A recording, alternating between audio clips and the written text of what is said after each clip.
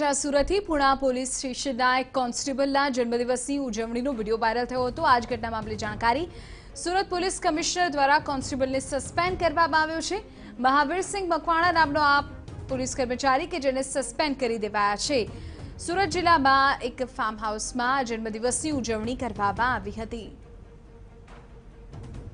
બળદેવ સુથાર અમારા સંવાદદાતા વધુ વિગતો આપી રહ્યા છે. જી અ, જે રીતે સુરતની અંદર એક જે વીડિયો વાયરલ થયો હતો એક કોન્સ્ટેબલ હતા તે પોતાના જન્મદિવસની જે ઉજવણી ફાર્મ હાઉસની અંદર કરવામાં આવી હતી અને જે આતશબાજી સાથે જે ઉજવણી કરવામાં આવી હતી જે વીડિયો વાયરલ થયો હતો તેના આધારે જે અ, પોલીસ સ્ટેશનની અંદર જે ગુનો નોંધવામાં આવ્યો હતો ત્યારબાદ સુરત પોલીસ કમિશનર તરફથી આ બાબતને ગંભીરતાથી લઈ અને હાલમાં જે આ કોન્સ્ટેબલ જે અ, પુણા પોલીસ સ્ટેશનની અંદર ફરજ બજાવતા હતા મહાવીરસિંહ મકવાણા નામના જે છે પહેલાની જે છે તેને સસ્પેન્ડ કરવાની જે કામગીરી છે તે કરવામાં આવી છે. કારણ કે સુરતની અંદર અવારનવાર આ રીતના જે જે રીતે કહી શકાય તે રીતના વીડિયો જે વાયરલ થયા હતા, પહેલા સૌપ્રથમ જે પહેલા પીઆઈ જે હતા, તેમનો જે વીડિયો વાયરલ થયો હતો, ત્યારબાદ પાંડેસરા વિસ્તારની અંદર એક બુટલેકરનો જે વીડિયો વાયરલ થયો હતો, ત્યારબાદ પૂણા પોલીસ સ્ટેશનના કોન્સ્ટેબલનો જે વીડિયો વાયરલ થતાની સાથે ચર્ચાસ્પદ બન્યો હતો ને તે બાબતે ધ્યાનમાં લઈ પોલીસ કમિશનર દ્વારા પગલાં ભરવામાં આવ્યા છે. બિલકુલ, પ્રદીપ, એટલે પહેલા પીઆઈ અને ત્યારબાદ હવે કોન્સ્ટેબલને પણ સસ્પેન્ડ કરી દેવાયો છે.